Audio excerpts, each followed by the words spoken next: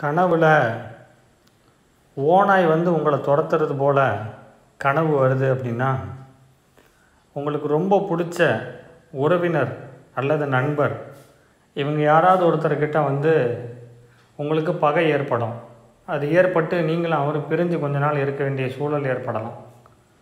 இதுதான் இந்த கணவனுடைய பலன் அறிகுறி.